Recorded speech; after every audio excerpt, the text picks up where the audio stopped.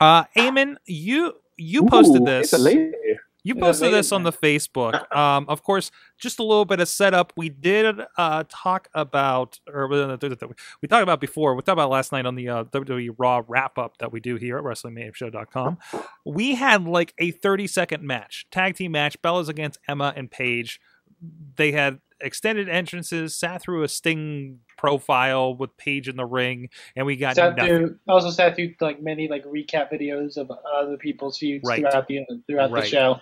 And of course, and of course, the uh, hashtag "Give Truth a Chance" got hijacked by everybody and everything. And the biggest probably was "Give Divas a Chance." After that, poor, poor planning and and look that that we got out of that. Now, Eamon, you came across something that happened on the twitters.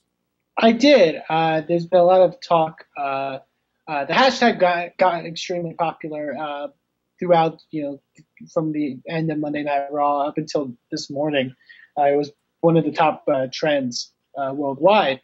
Uh, but uh, re- there hasn't been a lot of response from people actually within the company or people within wrestling uh, about it until probably about an hour ago uh, from uh, a certain missing in action diva uh, named AJ Lee, who Right. uh, had some things to say.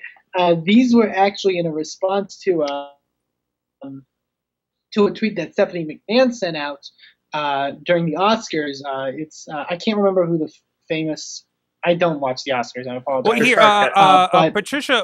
For those who don't know that side of it, and I only know this because everybody's been talking about it on podcasts since yesterday. Um, right. Patricia Arquette spoke out in her Oscar speech about uh, equal pay for people working in that industry, in the Hollywood industry, uh, after you know all this time in Hollywood, paying God knows what to people, and still women are lower waged and and not as prominently featured in the ways that they probably should be in that industry. And gee, doesn't that sound like something like pro wrestling? And the tweet, the, sounds a lot like the tweet originally is thank you uh, Pat, at Patty Arquette is her twi- Twitter Mhm. uh, for having the courage to fight for hashtag women's rights on such a grand platform. Hashtag use your voice. Now, do you have the tweet in front of you here, Eamon? I do. uh, Okay. and like I said, this was actually like literally about an hour ago. Uh, AJ tweeted Stephanie McMahon saying, quote, Your female wrestlers have record-selling merchandise and have starred in the highest-rated segments on the show several times, and that's the first part of the tweet she follows, and yet they receive a fraction of the wages and screen time of the majority of the male roster. Hashtag use your voice. So yeah, um, obviously, assumedly, things between AJ Lee and the WWE are probably pretty rocky at this point, Mhm. um, based off of uh, the stuff that's happening with her husband currently.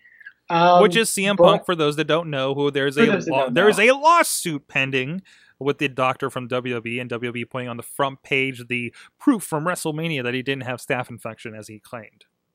CM Punk butt. CM Punk, Punk but- Buttgate. Um, but yeah,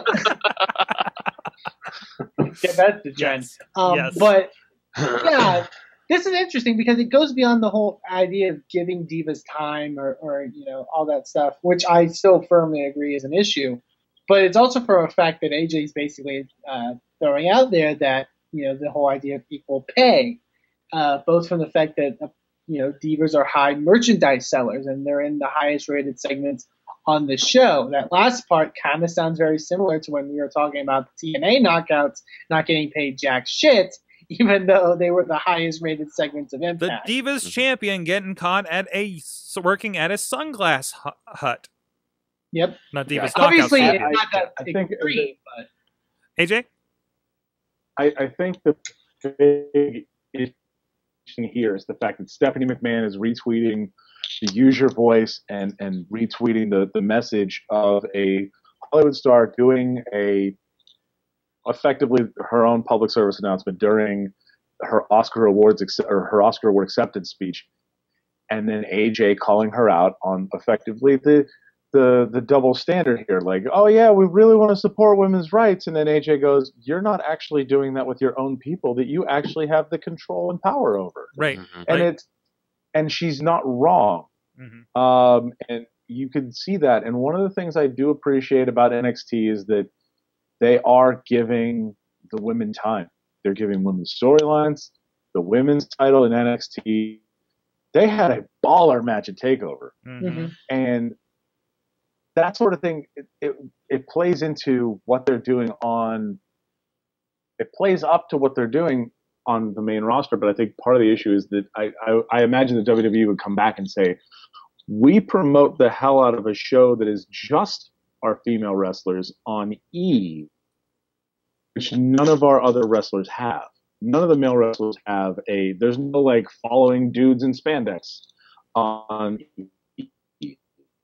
But also, and, and I can't remember. Um, I, I can't remember if we mentioned could this. be a show on. Go I ahead, can't remember go ahead, if we had mentioned this before, but um, uh, a lot of stuff that's really spurring this conversation was uh, comments made by the Bella twins, actually, uh, from uh, Comic Con in Indianapolis, where they talked about. I think someone asked them a question around those lines, and Brie Bella was like, "Yeah, you know, if I was on NXT, I wouldn't want to come up to the main roster because I get time up there." You know, and they basically said, "Really, you have a three-hour show and you can't give us more than three minutes?" Mhm. and that's that's one the divas champion of the company currently and two the other person that's one of the more prominent women on the show right now saying those kind of things Right. um, I, I think that really sticks out and and that's the thing with this whole give divas a chance thing it's not an issue of I I, lo- I think women's wrestling should be you know very prominent and and and a thing that people get behind um, but it's not an issue of models versus wrestlers it's an issue of people who are on your roster that you are paying to do a job, giving them the opportunity to do that job to the best of their abilities. Right. And I'm sure that people like Natalya and Paige and Emma want that time just as much as people like the Bella Twins and Summer Rae and Naomi and Alicia Fox and all those people that weren't wrestlers going into it but have spent the time and done the bumps and done the training to be wrestlers. And to be fair, there there are points where, well, take the brass ring, do whatever. And I think in the case of, oh geez, Trinity, Naomi, Naomi, I got it right. I got it right the one week. Um, and uh, and uh, Natty really doing that when they had their mixed tag match last week, and even you know what they're doing at ringside with the with the with the guys this week. Um, But you- then again, also, how much time did they get in that mixed tag? that's right. But again, you don't have a top opportunity to grab the brass ring when you have 30 seconds. You know, and it's just, it's just, uh, and it's like, like I, I know there, this is could be an isolated incident where something ran long, and they're like, okay, do it in 30 seconds. Like maybe they just got the do it in That's 30 really seconds, not which been an isolated could, incident. which could happen, which could have been the case in this case, but this is not an isolated incident. And it seems like they're always on the chopping block if that is the case.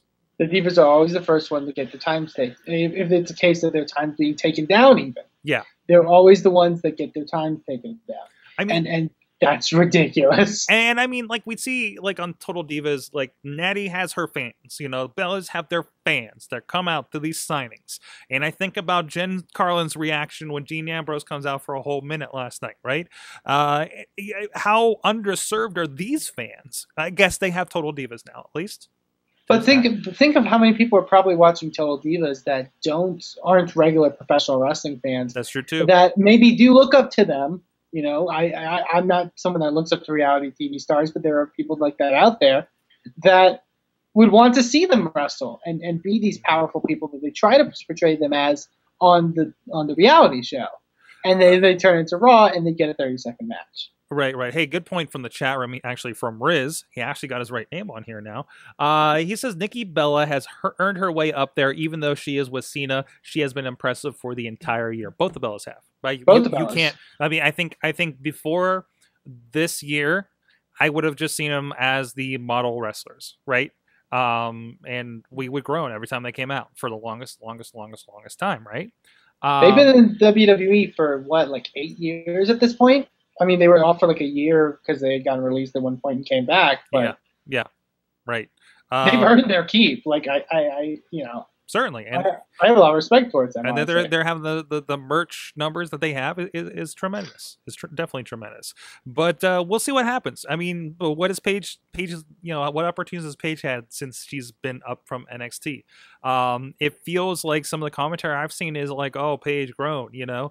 Uh, but it's like no, Paige was having amazing matches, you know. Mhm. Um, in, in in the takeovers in W in, in NXT in general, and she was brought up, and then again, then what? You know, same with Emma was was actually pretty impressive too.